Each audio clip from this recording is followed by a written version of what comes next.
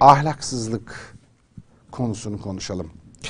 Malatya'da iki katlı bir bina çöktü dün. Yaralılarımız var biliyorsunuz. Niye çöktü bu bina? Ahlaksızlık yüzünden çöktü.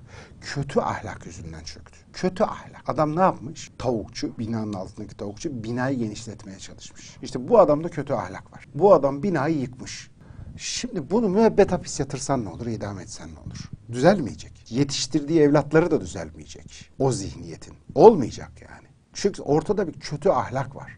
Kötü ahlak dünyanın bütün belalarının altında yatan şeydir. Kamyon kazası oldu, kamyonun arkasına adam çarptı. Kötü ahlak. O kamyon şoförünün şeytani bir ahlakı var. Şeytanın ahlakıyla ahlaklanmış. Ona yap bu koruma bariyeri denilmiş. O yapmış, muayeneden geçmiş. Sonra o şeytani ahlak ona demiş ki şimdi bunu sök, git kantarda öyle tartıl daha fazla yük al demiş. Şeytani ahlak. Binanın kolonunu kır, tavukçunu genişlet demiş. İşte sana şeytani ahlak. Şeytanın ahlakıyla ahlaklanmış bu insanlar. Bunun yolu yok. Deprem olmuş, bütün binalar ortada duruyor. Ortada iki tane bina yıkılmış. Aynı müteahhitin yaptığı bina.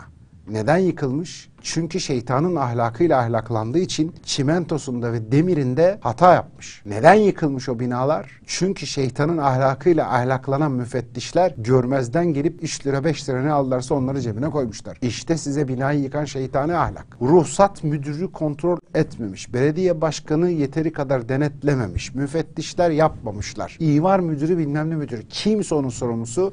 Bütün zincirleme herkes en üstünde kim varsa yer açtı. Ona kadar hepsinin problemi şeytani ahlak. Şeytanın ahlakıyla ahlaklanmış insanların yaptığı binalar yıkılır. Şeytanın ahlakıyla ahlaklanmış insanların yaptığı arabalar insanları öldürür. Şeytanın ahlakıyla ahlaklanmış insanların yaptığı yemekler insanları zehirler. Buna şeytanın ahlakıyla ahlaklanmak deniyor.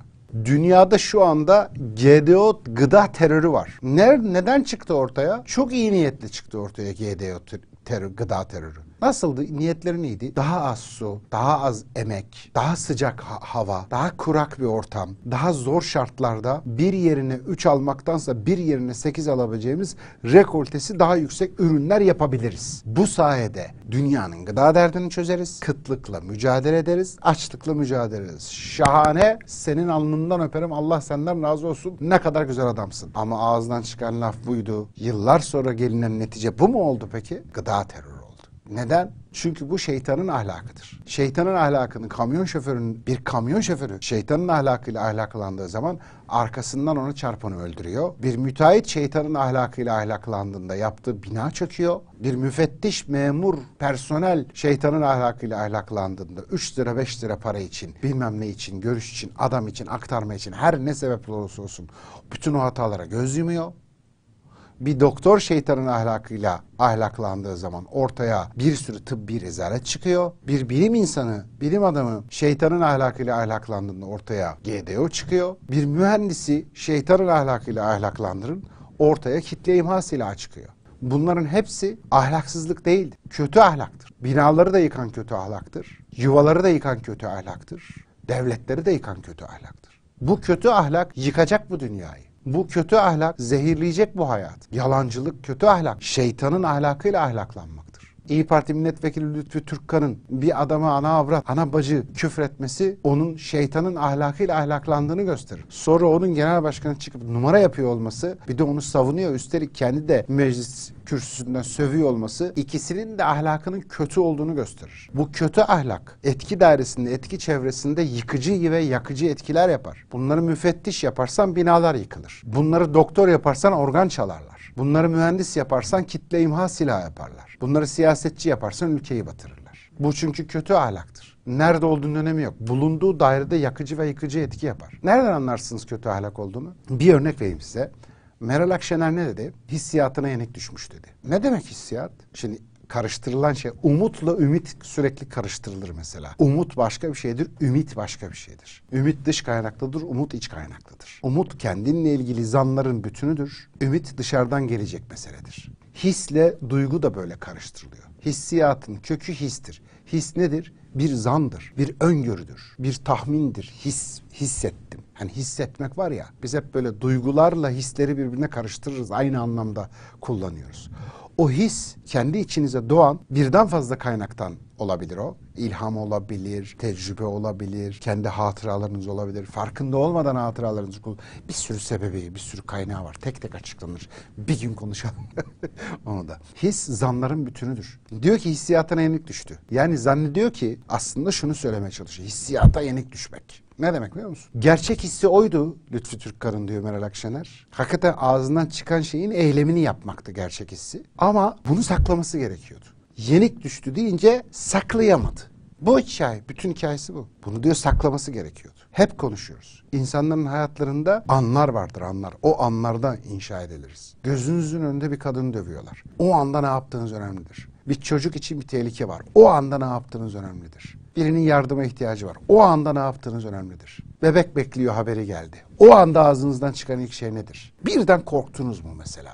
Ha dedi bir çocuğumuz daha olacak. Çat diye bir korku. Eyvah onu nasıl büyüteceğim bilmem ne falan. Özgürlük gitti. Daha öz- Bak ayette ne diyor? Geçim sıkıntısından korktuğunuz için çocuklarınızı öldürmeyin diyor. Allah kendine kul yaratıyor diye korkar mı bir insan?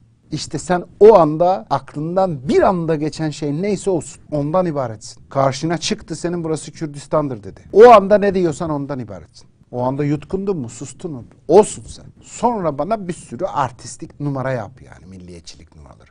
Numara yapma. Sen o bir dakikadaki insansın. 15 Temmuz gecesi. O anda ne yaptın? Elin yandı. O anda ne yaptın? Sen osun. Meclisin kürsüsünde öfkelendin. O bir an ağzından alıp diye bir küfür kaçtı. Sen osun işte. Sen orada kendini inşa ediyorsun o anlarda. Meral Akşener'in kürsüde yaptığı konuşmada o anlarını ortaya çıkartmış oldu. Dedi ki ben buyum. Ben bundan ibaretim. Adamım da budur. Ben de bundan. Bu adamım da bundan ibarettir. Bitti gitti. Bütün hikayeleri bu kadar. Küfür, inkar, saldırma, rezillik, yalancılık.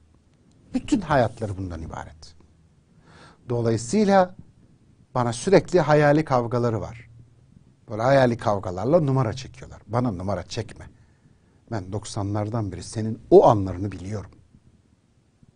O anların, o bir dakikalar, o ilk saniyelerde hep Türkiye'nin karşısında oldunuz. Her seferinde.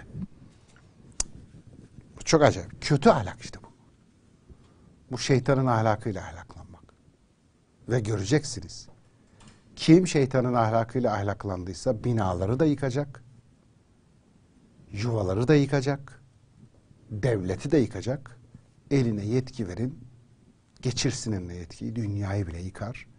Hayatımızın en kritik, en derin, en önemli mücadelesidir. Şeytanın ahlakıyla ahlaklanmamak.